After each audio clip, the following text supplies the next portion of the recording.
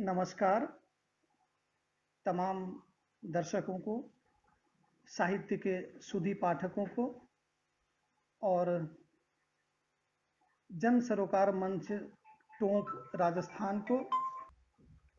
मेरा पहला काव्य संग्रह एक बूंद समंदर के हवाले पिछले दिनों प्रकाशित हुआ। कविताएँ कहीं न कहीं कवि मन के उच्छ्वास में उपजी संवेदना है, जो हमारे यत्र तत्र सर्वत्र बिखरी हुई हमें मिलती है। हर कवि, कहानीकार, साहित्यकार, चाहे वो जिस विधाओं के हो, वे अपनी रचनाओं के माध्यम से समाज की सेवा करते हैं। तो आइए, आज की शाम हम और आप हम अपनी कुछ कविताओं को आपके समक्ष लेकर आ रहे हैं। सबसे पहले मैं अपने संग्रह एक बूंद समंदर के हवाले से एक कविता को आपके समक्ष रखने का प्रयास कर रहा हूँ। कविता का शीर्षक है, बुरे दौर के विरुद्ध कविता। लिखना चाहता हूँ युग की बेहतरीन कविता। लिखना चाहता हूँ युग की बेहतरीन कविता। कविता में उगाना चाहता हूँ रंग बिरंगे फूलों के ढेर सारे पौधे, ताकि हवाओं संग बिखर सके सुवास अंतहीन, महका सके वातावरण के पोर पोर लाजमी है कि दुर्गंध में समाई धरा के, लाजमी है कि दुर्गंध में समाई धरा के कल्याण की हो कविता। मुझे माफ़ करना सहोदर, मुझे माफ़ करना सहोदर, फूलों को आतताइयों से बचाने की खातिर। फूलों को आतताइयों से बचाने की खातिर कविता में उगाने ही होंगे बेतरतीब कांटे। कविता में उगाने हैं मुझको मीठे रस से भरे फलदार पेड़ों की अंतहीन श्रृंखला। समय के पास गिरवी छांव और ठाव के बरक्स, धूप, बादल, बरसात की खातिर। चाहता हूँ कविता हो जाए, प्राण रक्षक औषधि में तब्दील, ताकि इंसानों के बसाए बेरहम बस्तियों में कंक्रीट के बेतरतीब उगे आधुनिक अरण्य और हैवानियत के उसर धरातल में मानवता के दफनाए जाने से छत विक्षत समय के हरे ताजे जख्म पर मरहम की तरह हो कविता। कविता में जहाँ रोज़ाना मसले जाते हों, कविता में जहाँ रोज़ाना मसले जाते हों, फूल और कलियाँ विकृत नपु, नपुंसकता के निर्मम हाथों वहाँ उगाने हैं मुझको, वहाँ उगाने हैं मुझको अभेद दुर्ग के मानिंद, भरोसेमंद कैक्टस दोस्तों, कविता के प्रस्तर अंचल में, कविता के प्रस्तर अंचल में उतारने हैं मुझको खिलखिलाती हुई प्रचंड नदी धार धार बहती, बावली वित्रिकाओं की अच्छे जल राशि ताकि खेतों में बल खाती फ़सलों में स्नेह स्नेह उतरती नदी सी जीवन दायनी हो कविता। कविता में जंगल का होना, कविता में जंगल का होना लाजमी है। मनुष्य के परे भी, मनुष्य के परे भी होती है आखिर एक चैतन्य दुनिया। मनुष्य के परे भी होती है आखिर जर चेतन की एक चैतन्य दुनिया इन जंगलों को लपकती, इन जंगलों को लपकती कुल्हारियों के विरुद्ध, लिखनी ही होगी मुझको समय के सबसे बुरे दौर के विरुद्ध कविता। धन्यवाद। मेरे संग्रह की दूसरी कविताओं में, जो मैं आपके सामने प्रस्तुत करने जा रहा हूँ वो कविता का शीर्षक है यकीन।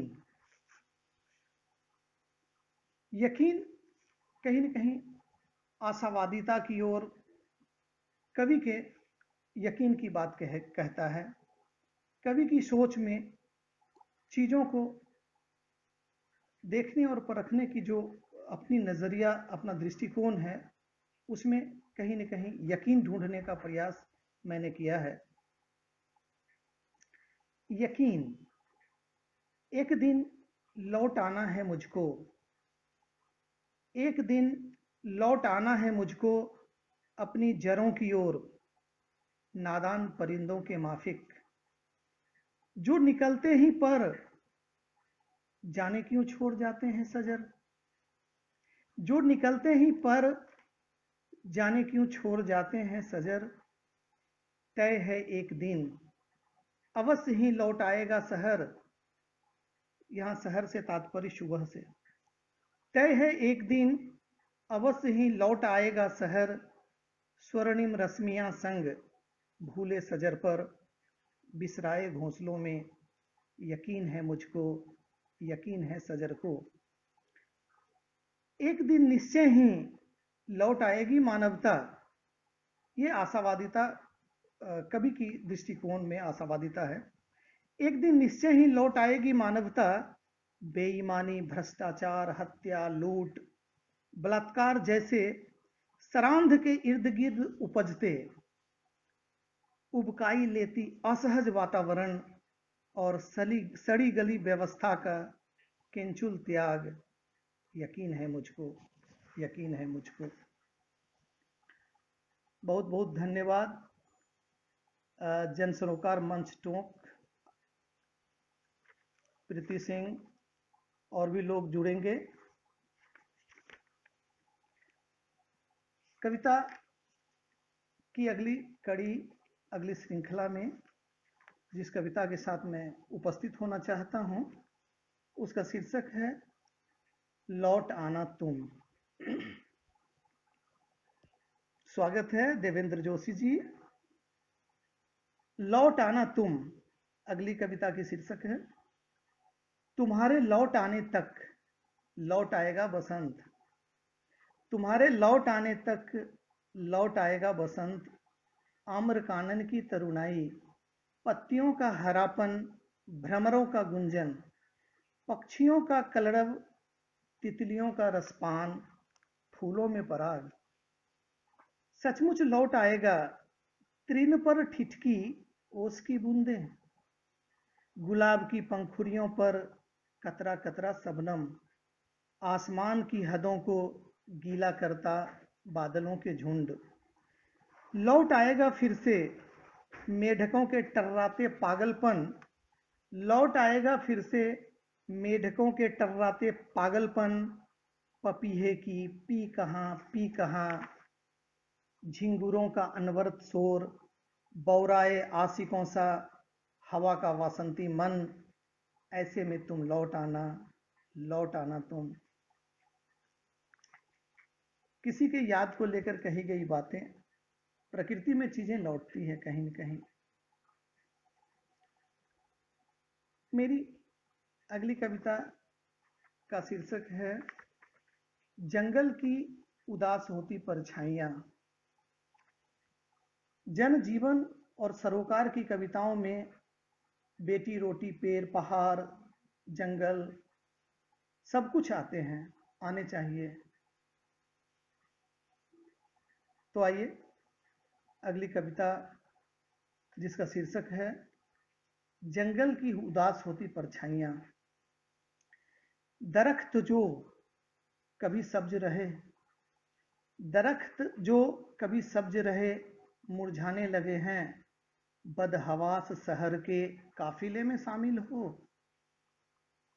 दरख्त जो कभी सब्ज रहे मुरझाने लगे हैं। बदहवास शहर के काफिले में शामिल हो।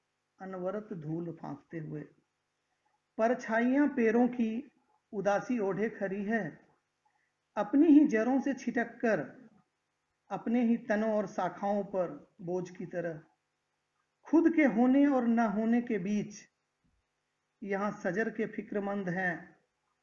यहाँ सजर के फिक्रमंद हैं, वे जो रहते हैं ऊँची ऊँची अट्टालिकाओं में, भव्य इमारतों में, आलिशान महलों में, कृत्रिम जंगलों के बीच। उनके भवनों के आकर्षक दीवारों पर महँगे पेंटिंगों में, उनके महँगे आकर्षक दीवारों पर महँगे पेंटिंग्सों में लरजते हैं सजर। लघु उद्यानों के गमलों में खिलखिलाते हैं रंग बिरंगे फूल और भांति भांति के कैक्टस सजर का हरापन अक्सर तलाश करते हैं नई पीढ़ी के जिज्ञासु बच्चे। सजर का हरापन अक्सर तलाश करते हैं नई पीढ़ी के जिज्ञासु बच्चे भूगोल और पर्यावरण की पाठ्य पुस्तकों में। पृष्ठ दर पृष्ठ पलटते हुए फिर निराश हो जाते हैं, क्योंकि उन्हें नहीं मिलता है वे जंगल। आधुनिक समय के सापेक्ष बच्चों की पाठ्य पुस्तकों में शामिल होकर भी नहीं होता दादी नानी के किस्से कहानियों वाला खाकू जंगल।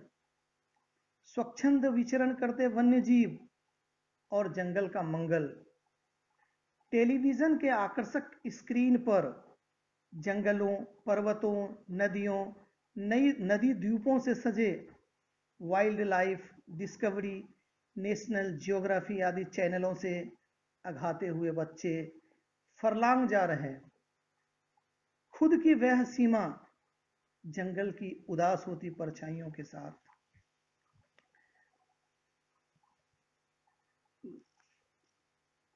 बहुत बहुत स्वागत देवेंद्र जोशी जी, आप जुड़ गए हैं।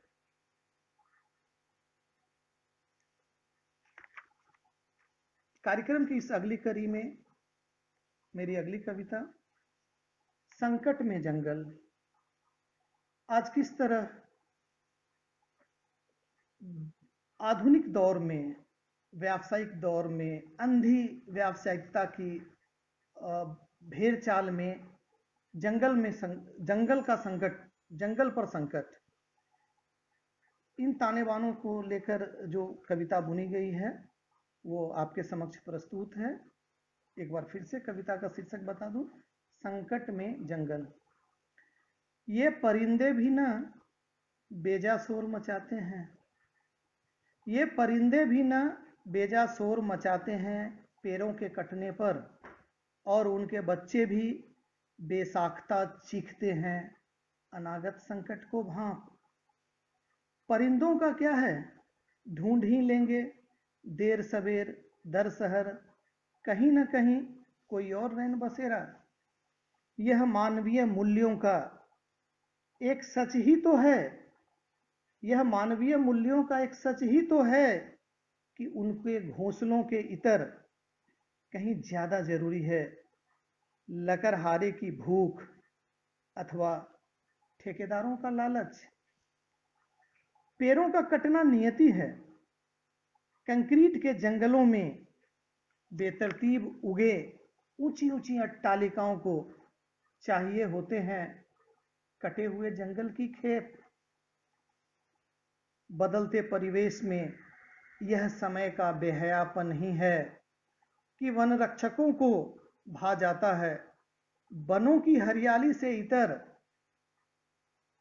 कि वन रक्षकों को भा जाता है, वनों की हरियाली से इतर हरे भरे नोटों की हरियाली। वाकई जंगल से परे। शहरों ने गढ़ी है। बुलंदियों की नवीन परिभाषा। तय किए हैं विकास के मानक। फिर क्या फ़र्क पड़ता है कि जंगल संकट में है?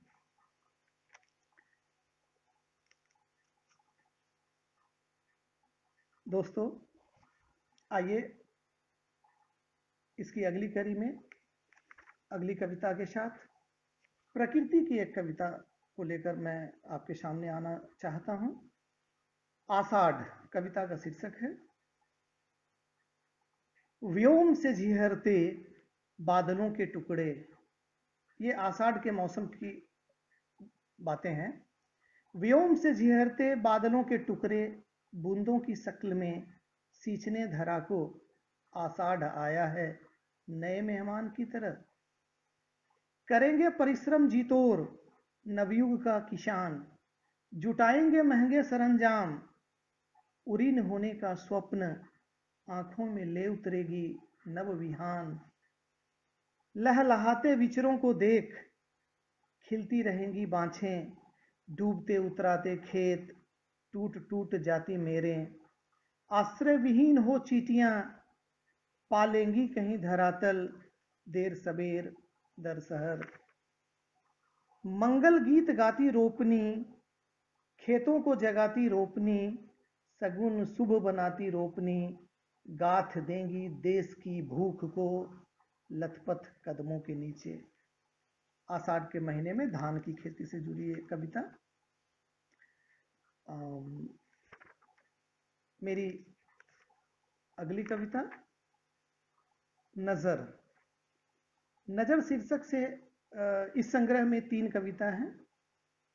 तो मैं चाहता हूँ कि एक शीर्षक के अंतर्गत कई कई कविताएँ हैं तो उनमें से कुछ कुछ को स्थान दूँ। नमस्कार, संतोष श्रीवास्तव जी। बहुत अच्छा लग रहा है नए नए लोगों से जानकर।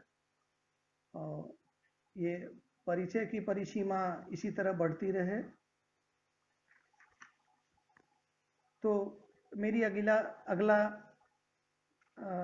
इस संग्रह की जो कविता आपके सामने प्रस्तुत करने जा रहा हूँ, शीर्षक है नज़र।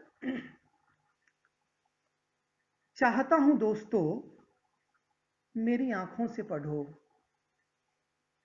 चाहता हूँ दोस्तों, मेरी आँखों से पढ़ो कविता के हरफ। मेरी नज़र से महसूस करो कविता के मर्म। जब भी देखता हूँ खेत, जब भी देखता हूँ खेत, नज़र आती है गरीबी। नज़र आते हैं किसान, किसानों का बदहाल जीवन। उसके छप्परों के छिद्रों से बेहिसाब टपकती बूंदें, उन टपकती बूंदों के बावजूद बारिश के लिए उसका दुआ करना। वाकई मित्रों, किसान एक ऐसा जीव है कि उसके खुद के छप्पर बेहिसाब टपकते हैं, फिर भी वह बारिश की दुआ करता है। किसानों का बदहाल जीवन उसके छप्परों के छिद्रों से बेहिसाब टपकती बूंदें, उन टपकती बूंदों के बावजूद बारिश के लिए उसका दुआ करना, सर्दी गर्मी बरसात सहते, जमाने भर के भूख की खातिर हड्डियाँ, गला, अनाज पैदा करना। जब भी देखता हूँ गाँव, दोस्तों, जब भी देखता हूँ गाँव, अलसाई भोर की तंद्रा को धता बताते नज़र आते हैं कर्मयोगी किसान कर्म पथ पर चिड़ियों के कलड़ब से सुर मिलाते मानवीय सरोकारों के चैतन्य आबंध में सादगी, संजीदगी और मानवता का छांव परोसती गाँव। दोस्तों, जब भी देखता हूँ शहर, नींद के आगोश में डूबा नज़र आता है सजर। शहर का शहर का सुबह हमेशा सोया नज़र आता है। निज भाग्य पर रोता सजर, छल प्रपंच आडंबर के ताने बाने से, आभासी रचना संसार का चकाचौंध बाज़ार। विद्युत लड़ियों के इस चकाचौंध में देर रात जागता है शहर। दोस्तों, जब भी देखता हूँ रिहायशी कॉलोनियाँ, भव्य इमारतें, आलिशान मकान और ऊँची अट्टालिकाएँ, वास्तुशास्त्र अभियंत्रण, तकनीकी कौशल के आश्चर्यजनक मेल से अजूबे अनूठे आश्चर्यों के स्वप्न लोग वहाँ मेरी नज़र देखती है। मजदूरों के जिस्म से बेहिसाब टपकते पसीने की बूंदें। दोस्तों, जब भी देखता हूँ शॉपिंग मॉल महँगे रेस्टोरेंट डुप्लेक्स मल्टीप्लेक्स सिनेमा घर पिज्जा बर्गर जैसे फास्ट फ़ूड के प्रति लोगों की दीवानगी। 20, 30, 40, 50, 60 रुपये टिकट दर वाले परंपरागत सिनेमा घरों का फेलियर हो जाना। 20, 30, 40, 50, 60 रुपये टिकट दर वाले परंपरागत सिनेमा घरों का फेलियर हो जाना। वहीं सौ रुपये से लेकर दो सौ रुपये तक के टिकट वाले मल्टीप्लेक्स सिनेमा घरों की रौनक। पिज्जा, बर्गर, तमाम फास्ट फ़ूड के बरक्स मुझे नज़र आती है। बीती रात की शेष बासी रोटी से नवीन सुबह की शुरुआत करते इस देश का अगणित आम आदमी। धन्यवाद।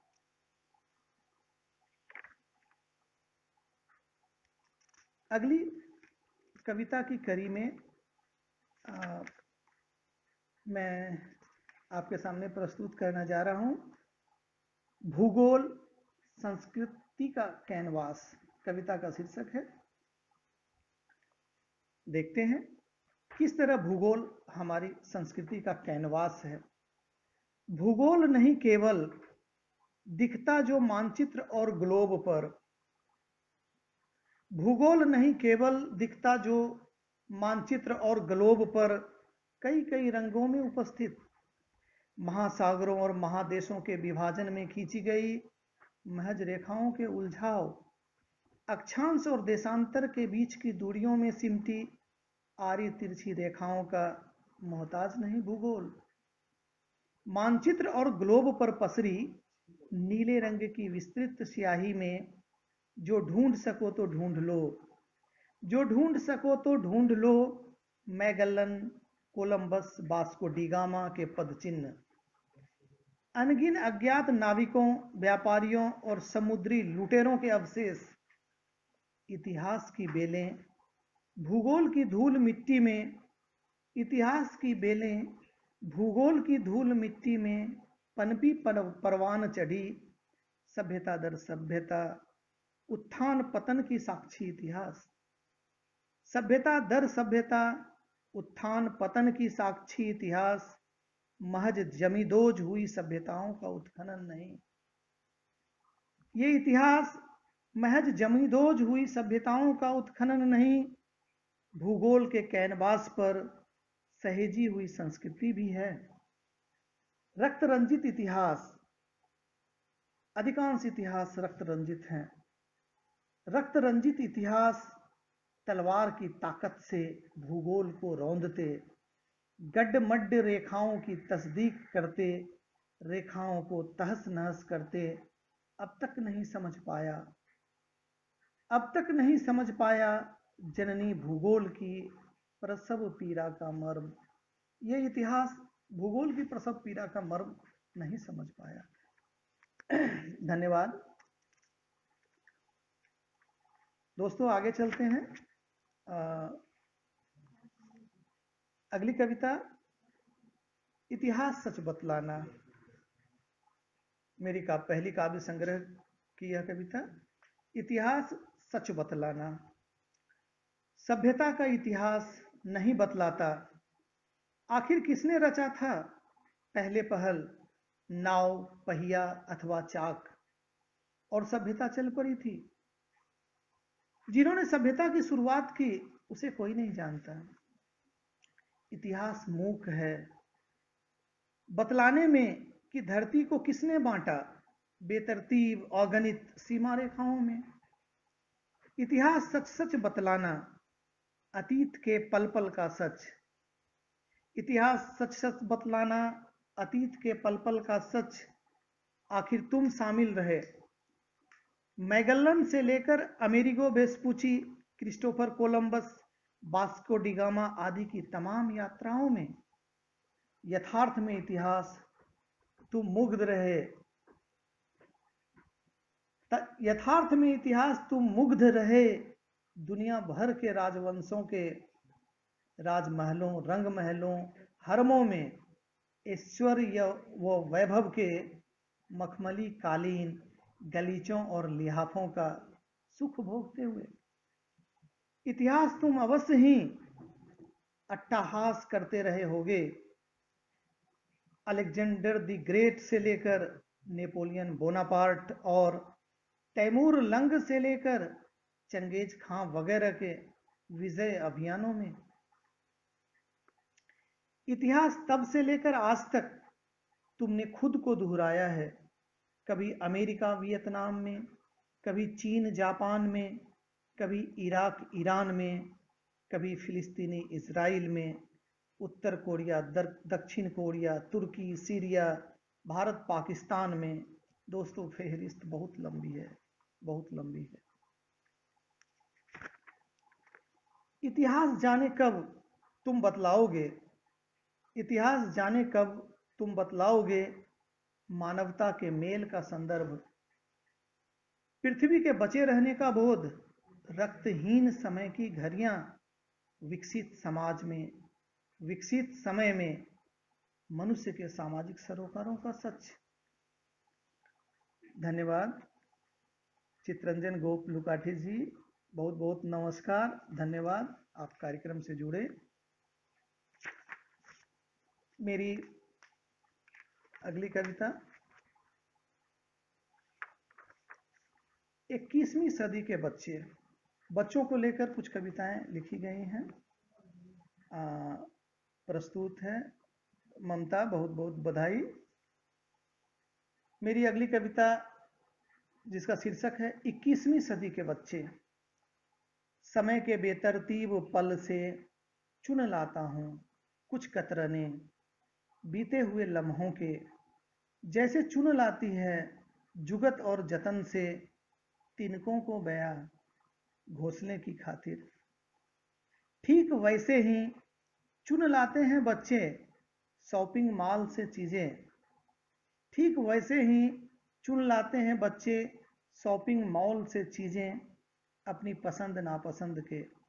बाज़ार की चाल से बाज़ार की सातिर चाल से अनभिज्ञ बच्चे अक्सर अपनी नासमझी में समझदार होते हैं।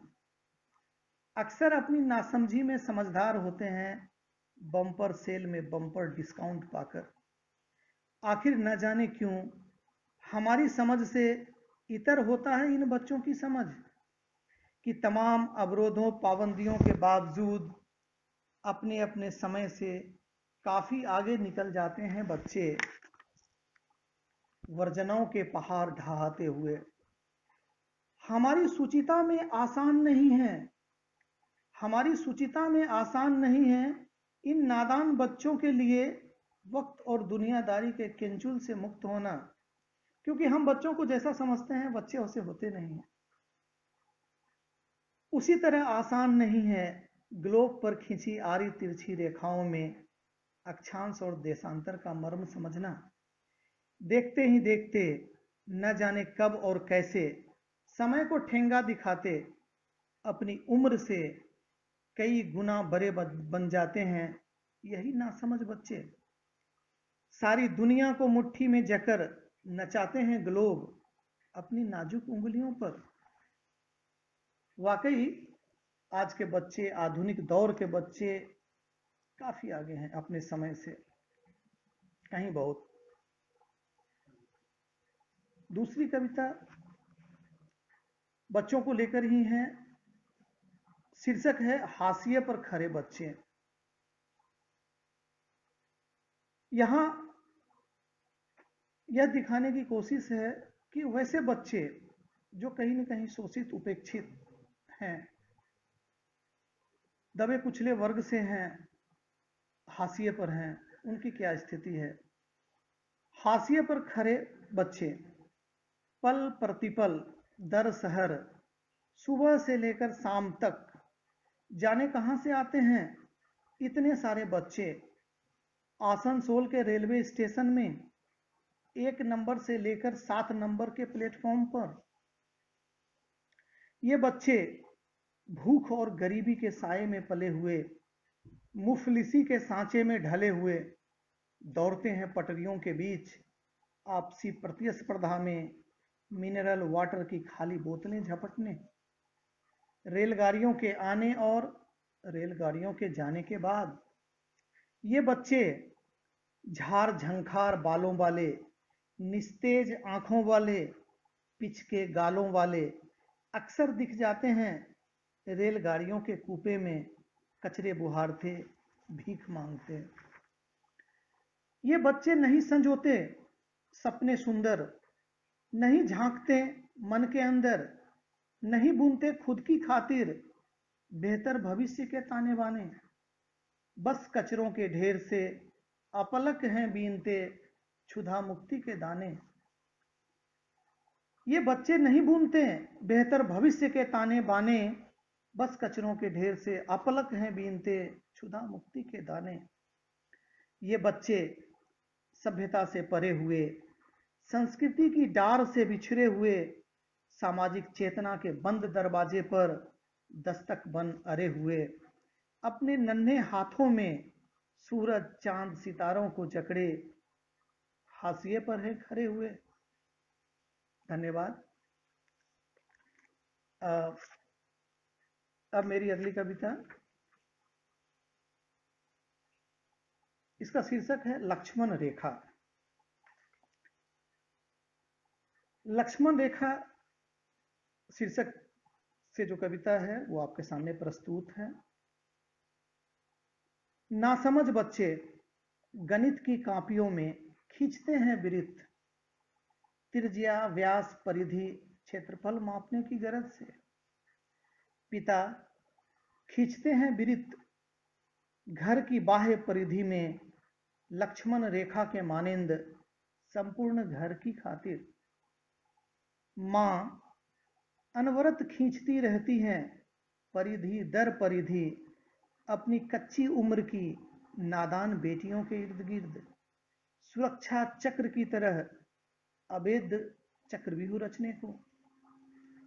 नादान बच्चे समय से बेपरवाह अक्सर करते हैं। खुद के स्वच्छंदता की परिधि में तमाम खींची गई लक्ष्मण रेखाओं का अतिक्रमण।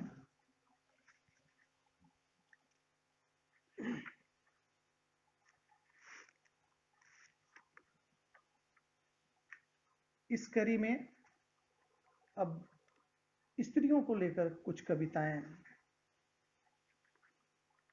परंपरा में हमारे समाज की स्त्रियाँ किस रूप में थी, उसे दिखाने का यह मेरा प्रयास है। कभी किसी दौर में हमारे समाज में, महिलाओं का क्या स्थान था? आप इन अगली कविता में देखेंगे। कविता का शीर्षक है, स्त्री होने के लिए। स्त्री होने के लिए चाहिए होते हैं। खालिस अच्छे संस्कार सहन शक्ति सहस्त्रों गुण और मर्यादा की लक्ष्मण रेखा का ज्ञान। स्त्री होने के लिए निहायत ही ज़रूरी है मशीन की तरह उत्पादन करने का मादा। रोबोट के हाथ। स्त्री होने के लिए बेहद ज़रूरी है पुरुषों के बनाए मानदंडों पर सिर झुका चलने की मूक सहमति। स्त्री होने के लिए चाहिए ही चाहिए पुरुष अहम को संतुष्ट करने से लेकर मार खा चुप रहने की कला का ज्ञान। यह परंपरागत दौर की स्त्रियों की जो दशा है, इसे मैंने दिखाने का प्रयास किया। आज आधुनिक समय और काल में ये परिस्थितियाँ बदली हैं, बदलने ही चाहिए। अगली कविता, जिसमें स्त्री के अलग मायने हैं। आप देखिए, स्त्री होने के मायने कविता का शीर्षक है, कोख में परी स्त्री बीज को कहाँ पता होता भला? स्त्री होने का मतलब? सौभाग्य से बच पाई कन्या भ्रूण को। वाकई नहीं पता। स्त्री होने के मायने। गर्भाशय के बाहर की दुनिया का। गर्भाशय से बाहर की दुनिया का। उसे भला क्या इल्म की? उसके खुद के घर की। दीवारें, दरवाजे, खिड़कियाँ, रोशनदान वगैरह प्रतीक्षा तुर रहती है पुरुष करंदन का। कन्या भ्रूण को सच नहीं पता कि वह अवांछित सी उग आई है। चट्टानों पर अनायास उग आए जंगली घास फूस की तरह। वाकई कन्या भ्रूण के लिए गर्भाशय से बाहर की दुनिया कितनी बेरहम है। कितनी रेतीली कितनी पथरीली कितनी अनुर्वर, कितनी उबर खावर, कितना व्यावान, कितना कंट किरण कितना कंट का किरण, उसके कोमल पाँव के वरस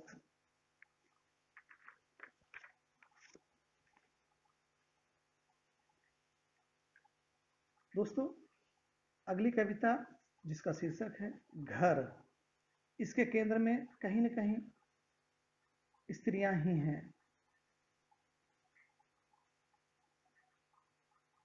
सपनों में अक्सर बेटियाँ बुनती हैं घर। एक अदद घर, एक अदद घर बुनने की खातिर बेटियाँ कमसिन उम्र से ही जतन से सीखती हैं परिपक्वता के तमाम गुण। बड़े बुज़ुर्गों की पाठशाला में गुड्डे गुड्डी के खेल में बेटियाँ देती हैं परिचय, अपनी परिपक्व कला का रसोई घर का जिम्मा संभालते हुए। सदियों चली आ रही परंपरा, रीति रिवाज और आडंबर से भली भांति परिचित होते हुए बेटियाँ सहज सीख लेती हैं। घर की चार दीवारियों के भीतर कैद रहने की कला।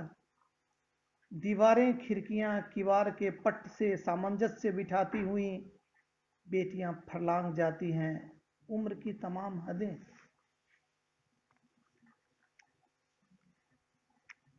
बहुत अच्छी बात है, बहुत सारे लोग जुड़े हैं। अच्छा लग रहा है आप लोगों से मिलकर, अपनी बातें कहकर। इस संग्रह की अगली कविता जिसे मैं आपके समक्ष लाने जा रहा हूँ,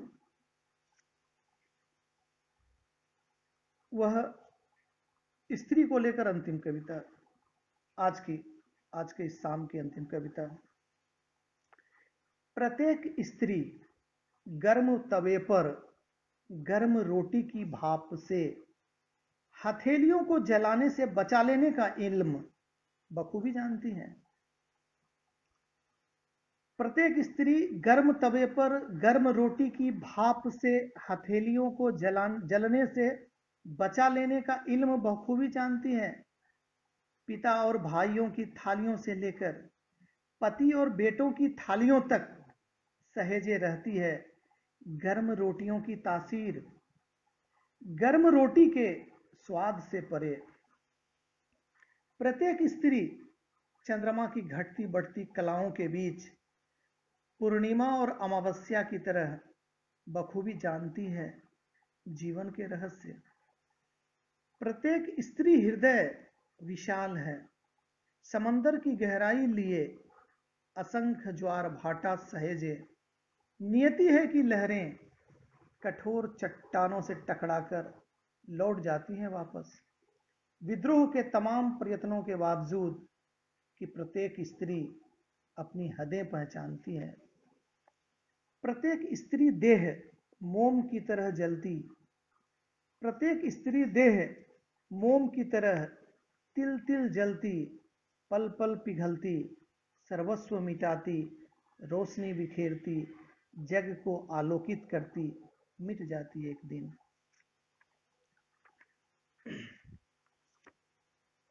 अब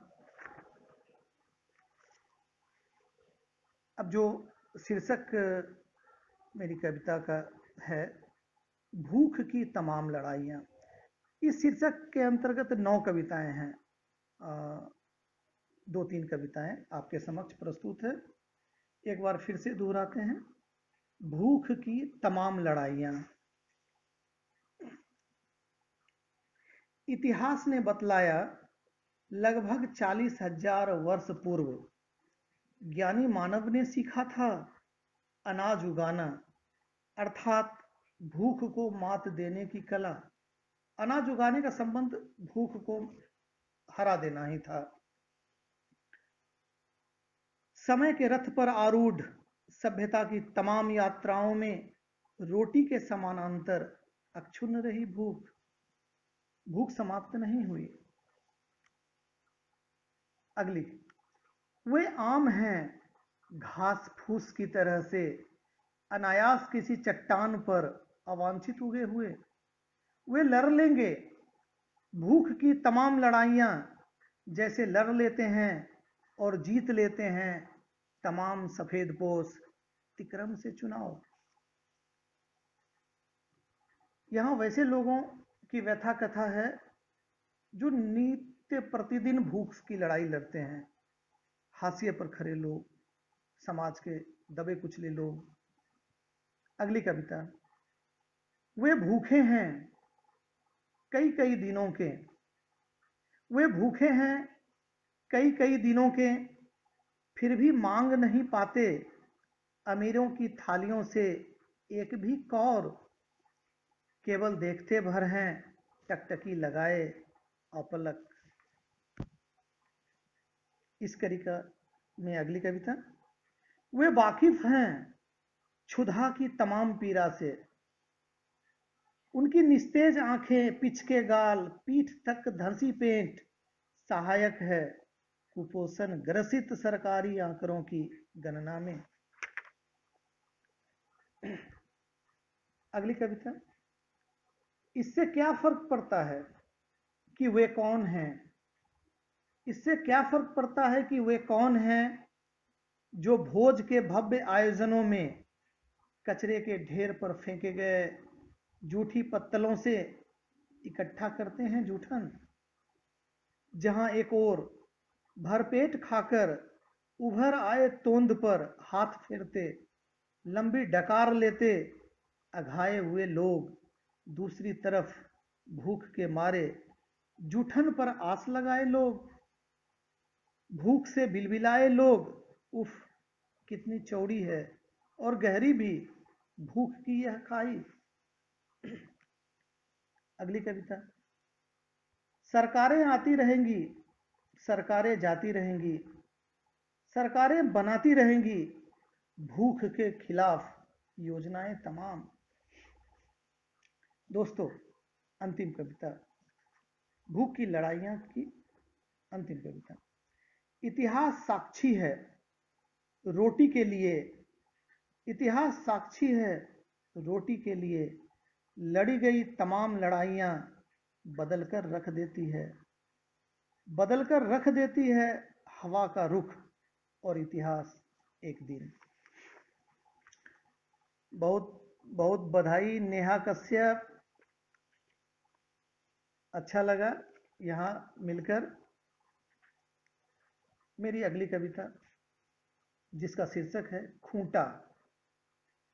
खूंटा जिसमें हम मवेशियों को बांधते हैं रस्सियों से।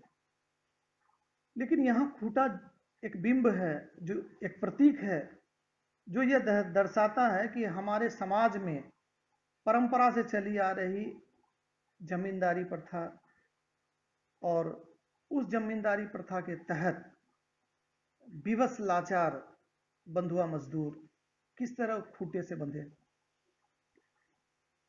तो आइए इस श्रृंखला की अगली कड़ी में कविता शीर्षक खूंटा।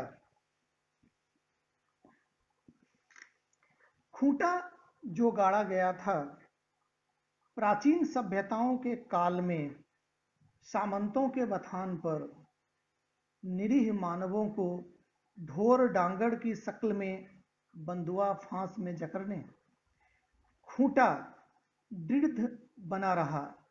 खूंटा दृढ़ बना रहा। सदी दर सदी, साल दर साल, त्रासद झेलता रहा काल। परवान चढ़ती सभ्यताएँ, बिस्वेल सी फलती फूलती, होती रही छतना खूंटे से जो बंधे रहे अनवरत, लोग आम असंख्य। खूटे से जो बंधे रहे। अनवरत लोग आम असंख्य, निहमुहा निशब्द। लार से मरहूम लड़कपन, वसंत से परे यौवन। झुकती चटकती रीढ़ की हड्डियों तक। बचपन से लेकर युवावस्था और बुढ़ापे तक लोग दास्ता में समय काटते रहे।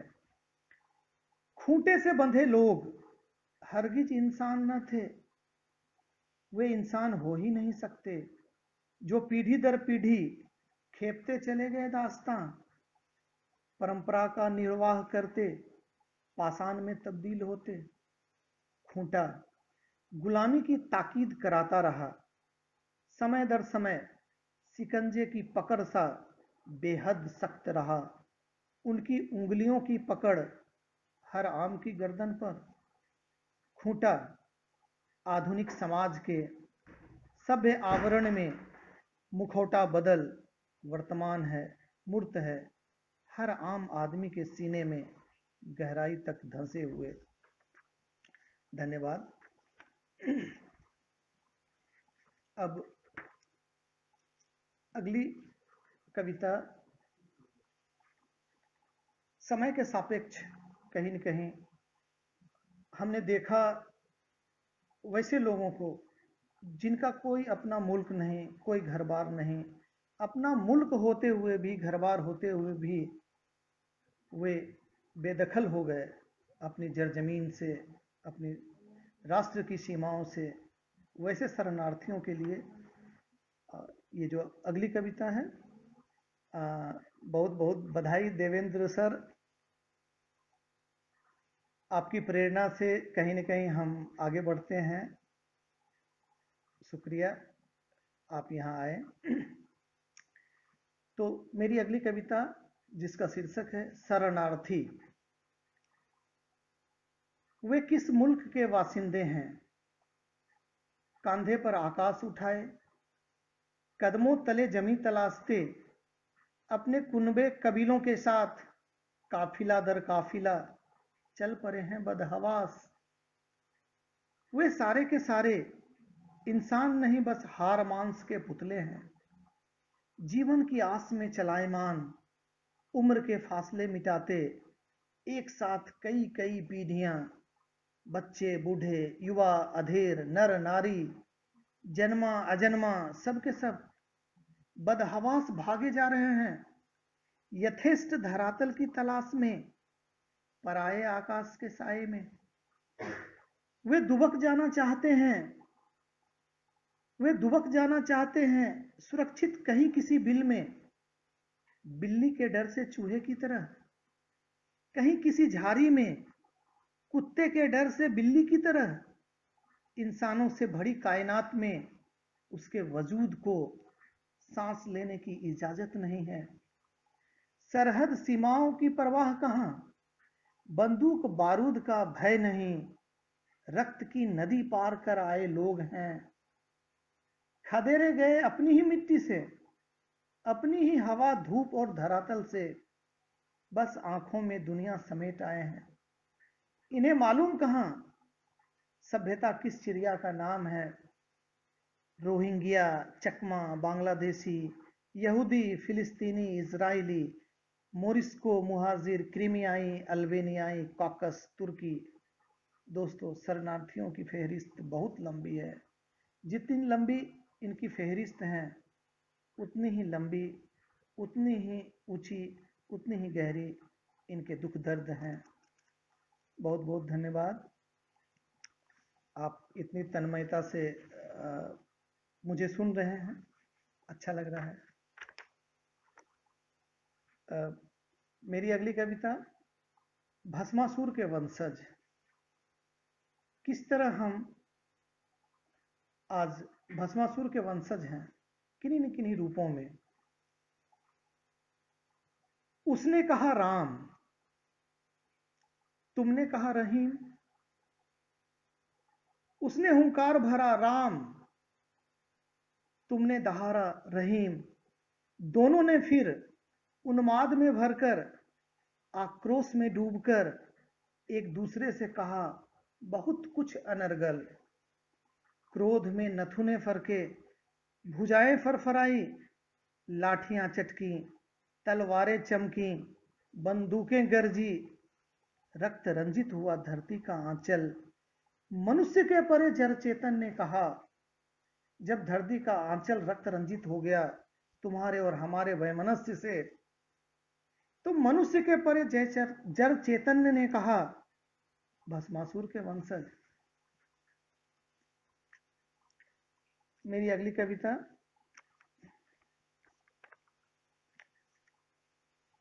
दोस्तों आ, मेरे इस संग्रह की ये आखिरी कविता भी है और संग्रह से परे कुछ कविताओं को अगर समय इजाज़त देता रहा तो कुछ कविताएँ आगे बढ़ेंगी। संग्रह से परे भी। अगली कविता है जिसका शीर्षक है, किसान की आत्महत्या। एक बड़ा ही गंभीर और ज्वलंत मुद्दा है हमारे किसान भाइयों, अन्नदाताओं, जो हमारे लिए तमाम दुख दर्द को झेलते हुए हमारी भूख की खातिर अनाज पैदा करता है। उनके समस्याओं को लेकर यह कविता है। आइए देखते हैं। शीर्षक है, किसान की आत्महत्या। एक किसान की आत्महत्या से सिर्फ़ एक पार्थिव शरीर नहीं मरता। एक किसान की आत्महत्या से सिर्फ़ एक पार्थिव शरीर नहीं मरता। मर जाते हैं अगणित बीजों के अंकुरण। मर जाते हैं अगणित बीजों के अंकुरण। धरती की उर्वरा शक्ति, केंचुए, कीड़े, मकोड़े, सूक्ष्म जीवों के कुरेदे जाने का एहसास। असंख्य खरपतवार और अवांछित पौधों के उग आने से मर जाता है वांछित पौधों का हरापन। दोस्तों, एक किसान के यूँ चले जाने से खामोश हो जाते हैं पुलकार और ललकार के शब्द। उदास हो जाता है बैलों का मन। हल की मूठ उभर आते हैं फावरे में जंग। किसान के सशरीर न होने से, किसान के सशरीर न होने से उचाट हो जाता है हवा का मन। उदास प्रतीत होते हैं खेत के सिरहाने खरे बबूल के कांटेदार पेड़ों के झुंड, जिसकी अल्प कटी फटी छाया में कलेबा करता, तंबाकू बनता विश्राम करता आया था किसान। दोस्तों, एक किसान की असमय मृत्यु से बहुत फ़र्क पड़ता है। बहुत कुछ घटता है, अप्रिय। टूट जाती है घर की उम्मीदें। दरक जाते हैं, दीवारों का साबुतपन बदल जाती है एक समुची दुनिया। किसान का अपना घर परिवार। दोस्तों, एक किसान की आत्महत्या से फ़र्क नहीं पड़ता। एक किसान की आत्महत्या से कभी फ़र्क नहीं पड़ता मंडियों और बाजारों की सेहत पर। आढ़त आढ़त की गद्दियों पर विराजे। धन सेठों के गल्ले और तिजोरी पर, शेयर बाज़ार के सूचकांक पर। मित्रों, एक किसान के धराधाम से कूच करने से, एक किसान के धराधाम से कूच करने से बल नहीं पड़ता सूदखोर महाजनों और साहूकारों के माथे पर। ऋण अदा करेगा किसान का बेटा इस आशय के करारनामे पर। पहले से दर्ज है, किसान का अंगूठा। वाकई एक किसान की आत्महत्या से हिला नहीं करते सत्ता का सिंहासन। वाकई एक किसान की आत्महत्या से हिला नहीं करते सत्ता का सिंहासन। सूख जाया करते हैं, समाज की आँखों का पानी। मानवीय संवेदना के बंद दरवाजे पर भला कोई दस्तक भी है? किसान की आत्महत्या। मानवीय संवेदनाओं के बंद दरवाजे पर भला कोई दस्तक भी है? किसान की आत्महत्या। इस तरह संग्रह की कुछ कविताओं को आपने सुना, जिस तन्मयता से आपने सुना बहुत बहुत बधाई। मेरी कुछ हाल की कविताएँ हैं। कविता का शीर्षक है, पत्थर और भली स्त्री। वह स्त्री बहुत भली लगती है। वह स्त्री बहुत भली लगती है। अक्सर उसे देखता आया हूँ, नीरव, निशा और अल सुबह के मध्यांतर, इकट्ठा करते फूल फूल भांति भांति के अलग अलग देवताओं के नाम होते हैं अलग अलग फूल। वही भली स्त्री स्नानादि के उपरांत पूजा की थाल सजाए, प्रकट होती देवालय में देवताओं की परिधि की, देवताओं के परिधि की परिक्रमा करती। तल्लीनता से आरती उतारती, आराधना में हो जाती लीन। हाँ वही स्त्री निर्विकार भाव से बुदबुदाती हैं शब्द। बुदबुदाती हैं शब्द, प्रार्थना के शब्द। आस्था की प्रकाष्ठा में प्रार्थना बीज बोती स्त्री वाकई भली लगती है। वही भली स्त्री पत्थर के बेजान ईश्वर पर, वही भली स्त्री पत्थर के बेजान ईश्वर पर अर्पित करती पवित्र जल पत्थर में रच देती एक अदद ईश्वर। धन्यवाद।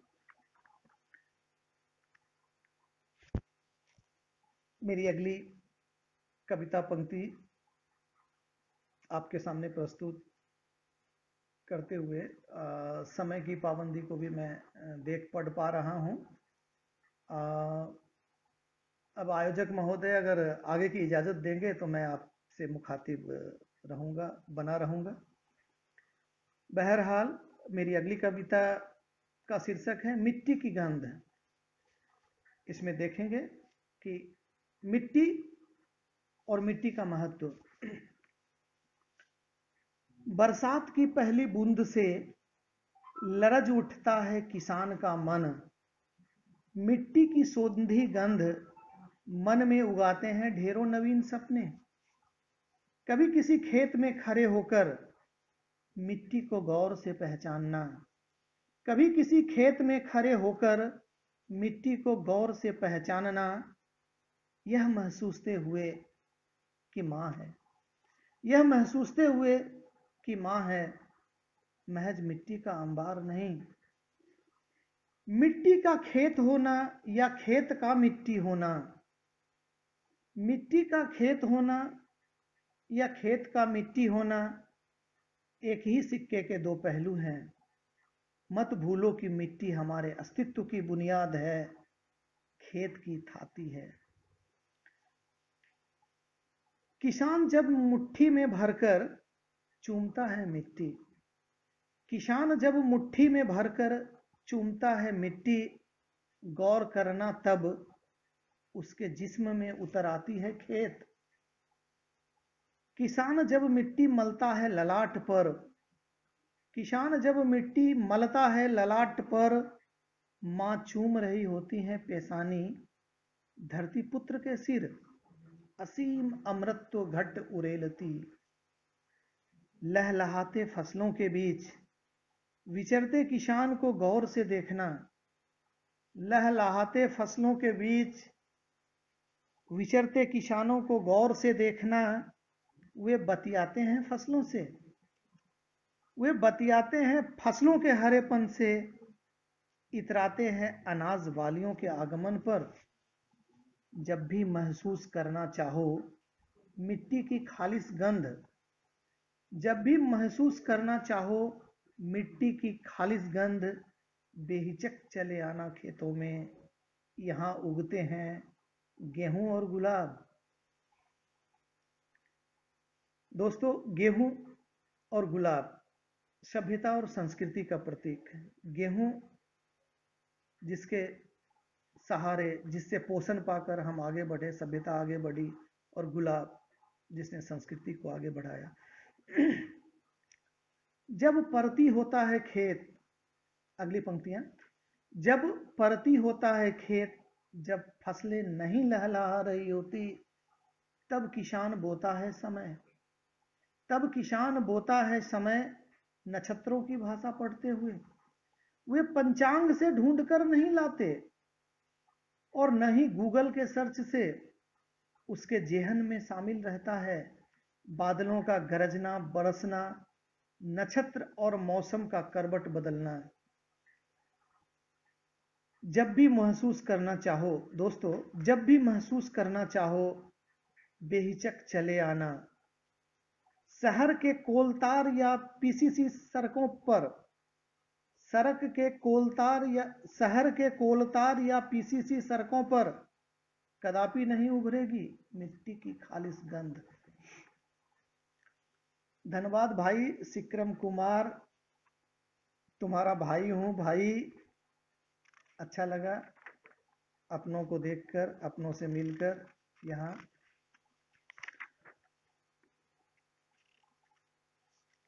मेरे बचपन की एक कविता। मेरे दिल के काफ़ी करीब है। जब मैं छोटा बालक हुआ करता था और पिता के कंधों पर हुआ करता था, इस कविता का शीर्षक है पिता के कंधों पर। बहुत दूर तक चला हूँ पिता के कंधों पर। बहुत दूर तक चला हूँ पिता के कंधों पर हवा से बातें करते। आकाश से ऊँचा होते, आकाश को मुँह चिढ़ाते, सारा आकाश जीतते। ये मीलों का सफ़र न था। अनंत दूरियाँ भी कमतर रही होंगी। पिता के कदमों में श्रीहीन। कभी थकते पिता को, तब मैंने नहीं देखा था। कभी थकते पिता को, तब मैंने नहीं देखा था। पिता के कदम कभी रुके कहाँ थे? पिता के जीवट का कोई ज़ोर न था। पिता के जीवट का कोई ज़ोर न था। उनके कंधे कभी झुके कहाँ थे? मेरे वजूद को ढोते हुए उनके कंधे कभी झुके कहाँ थे?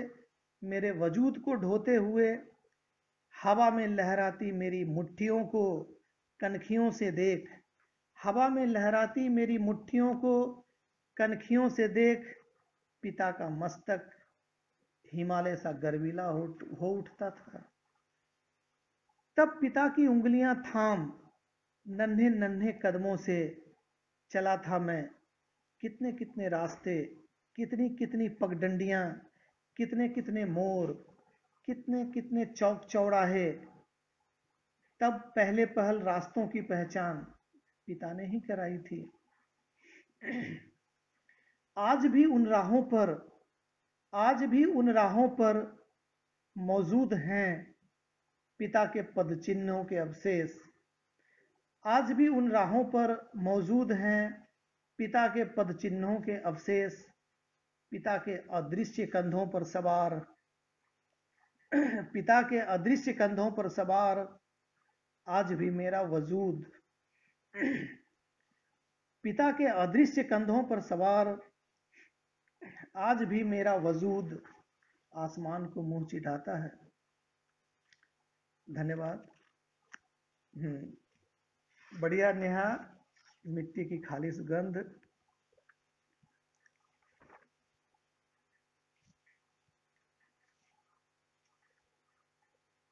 अगली कविता, इंसानियत का वजूद।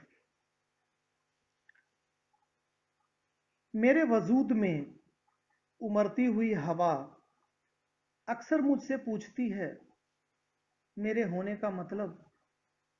मेरे वजूद में उमरती हुई हवा अक्सर मुझसे पूछती है, मेरे होने का मतलब?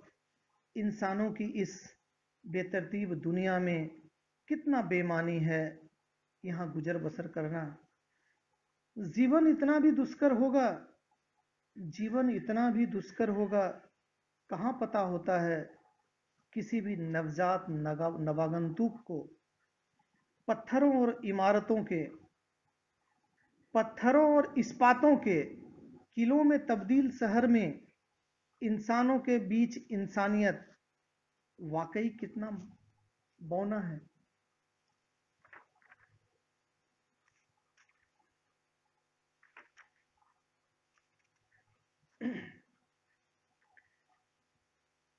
अगली कविता, जिसका शीर्षक है, गाँव की छोकरियाँ। गाँव की छोकरियाँ, शीर्षक की यह कविता संग्रह में भी आई है। वे छोकरियाँ आम्र कानन में, वे छोकरियाँ आम्र कानन में, अमराई की तरुणाई में, झूलों पर झूलती हुई अक्सर भाइयों को निहारती है बड़े गौर से। और मन में पालती है ढेरों हसरतें। मन के हिंडोले पर तस्वुर में ही झूल लेती हैं अक्सर। फिर चल देती हैं इकट्ठा करने गोबर। गाँव की छोकरियाँ हथेलियों के बीच लगन से दुलराती, सहलाती, थपकाती है लोई। बड़े जतन से फिर पाथ देती है उपले पूनम के चाँद की शक्ल में। उपलों के साथ प्रतिदिन चूल्हे में दहकती है हस्तरेखाएँ। उपलों के साथ प्रतिदिन चूल्हे में दहकती हैं हस्तरेखाएँ। उगते सूरज की मानिंद, लाल दग्ध अंगारों की शक्ल में रचने को मानव संसार। गाँव की ये छोकरियाँ कदापि नहीं होती। इतिहास भूगोल का हिस्सा। नहीं लांग पाती कभी। समाज के द्वारा खींची गई सीमा रेखा अक्सर सिर झुका स्वीकार लेती। परंपरा से चली आ रही रीत के आगे सिमटा लेती खुद को। घर बाहर खड़े किए गए तमाम वर्जनाओं के पहाड़ के आगे। गाँव की छोकरियाँ धन्यवाद। धन्यवाद सभी लोगों का जो आज के इस कार्यक्रम से जुड़े हुए हैं और जो इतनी दूर तक, इतनी देर तक हमारे साथ बने हुए हैं। अच्छा लग रहा है। अब यह तय करना आयोजक महोदय का काम है कि वो कब तक मुझे बर्दाश्त करेंगे। उनकी इजाज़त जब तक रहेगी, मैं चलता रहूँगा, आप लोगों के साथ बना रहूँगा। अगली कविता जो है, उसका शीर्षक है, शेष बची रहेगी उम्मीद। यह किसान पर आधारित कविता है, शेष बची रहेगी उम्मीद। किसान बिंदु से लेकर सिंधु तक सृष्टि का केंद्र बिंदु है। ज्ञानी मानव के उदय से लेकर आज तक चलायमान है किसान। सूर्य की परिक्रमा करता पृथ्वी की तरह। मिट्टी की खातिर, खेत की खातिर, पेट की खातिर, जमाने भर के भूख की खातिर। ये किसान शेष नाग के मानिंद, फन पर धारण किए धरती। ये किसान शेष नाग के मानिंद, फन पर धारण किए धरती गतिमान है अनवरत।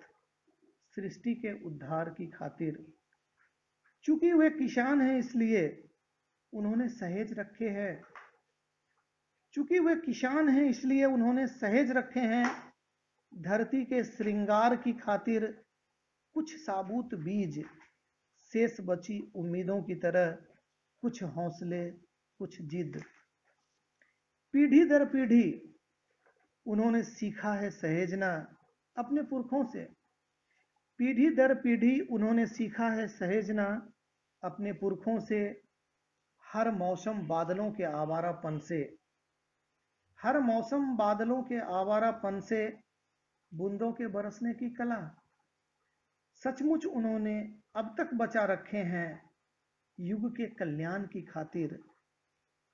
सचमुच उन्होंने अब तक बचा रखे हैं युग के कल्याण की खातिर। तर बतर पसीने की बूंदों से तरास कर उम्मीदों के मोती। बहुत थोड़े से सपने कि ये सच भी होंगे एक न एक दिन।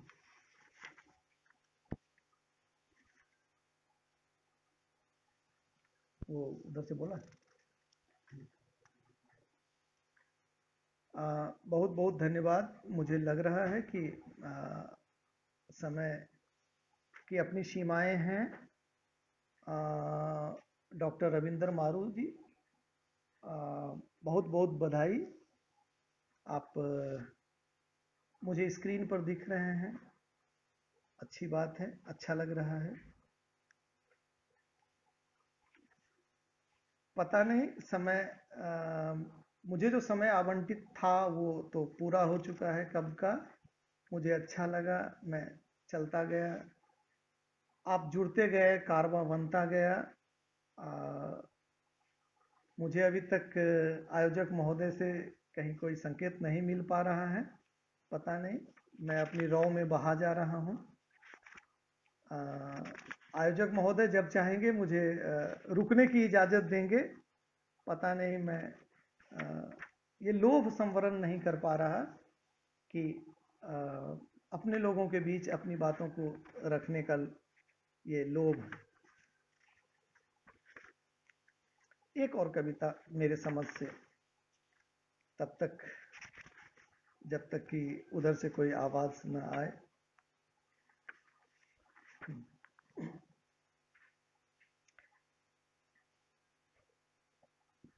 ये कविता का शीर्षक है, प्रियतम तुम्हारी खातिर। जब भी गर्म तवे पर रोटी दिखता है गोल गोल। अतृप्त मन के क्षितिज में पूनम का चाँद खिल उठता है, पीपल के पत्तियों सा डोल डोल।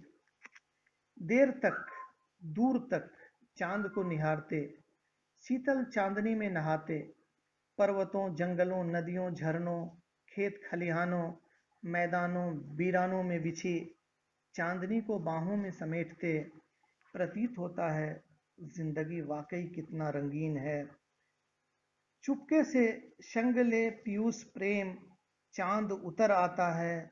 हृदय की असीम गहराइयों में अमृत तो घट उरेलता। वैसे ही सरस उतरती है, निहार नहाई बूंदों में समाई चांदनी और शीतलता।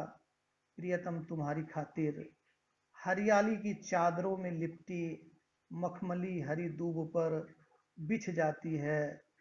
तुम्हारी यादें तुम्हारी यादें। धन्यवाद। बहुत बहुत